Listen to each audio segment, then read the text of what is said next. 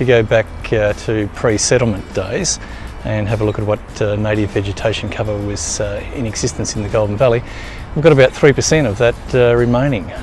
What we're losing is the old stuff. Yes, you can replace trees with new vegetation, but it's not the same. We are losing trees that are 80 to 100, over 100 year old. They are just a nest of ecosystem services. The footprint of our irrigation district is changing. There's already cleared farm out there that can be utilised for a whole range of uh, development proposals.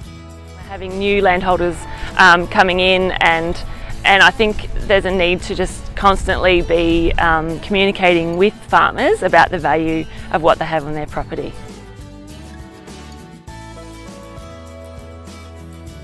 Up until now that middle ground has been knock the tree over and then we'll replant.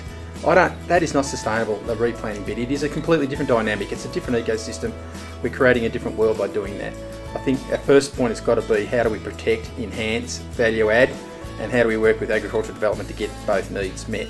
And we are at crisis point. So what we're really wanting to do is to make sure that we're all talking together um, and we're on the same page.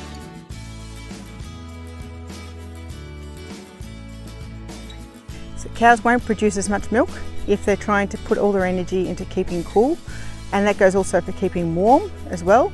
Um, they won't put on as much fat, body fat, and they won't grow as fast. They do prefer the tree to the shed. The shed's better than nothing, certainly, but um, they do prefer the trees to the shed.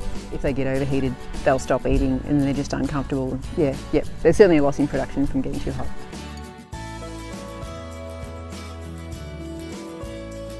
They self-germinate and they also have a limited life. And this one we find here has had two great um, branches off it, uh, have fallen down and it's come to the end of its life. But surrounding it, because we are able to fence it off, are the new trees that has been able to germinate that have taken root. So the tree still lives on, even though it's come to the end of its life as a grand old paddock tree, it lives on in the new trees around it. To fence off those old um, remnant paddock trees that we have because we know that natural re regeneration is a really um, is the most successful way to see that those those old trees regenerate into the future and by fencing areas off around those trees we can protect them and see that natural regeneration occur. More and more we're recognising the value of, of paddock trees and we're also realising that we're losing them and we're losing them more of them than we're gaining in terms of regeneration and um, revegetation.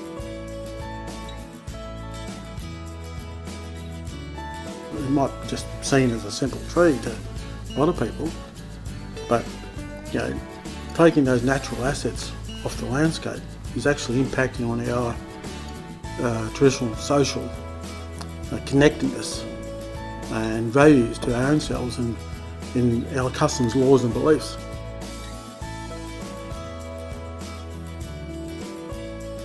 First thing is that they give us life. Oxygen is really important to humans, so we can breathe in each time we breathe. They give shade for the animals and they give um, some animals like birds um, a habitat to live in. Some animals like birds could live up there and if you chop them down some lose their nest and their eggs could be up there and then they could lose their babies.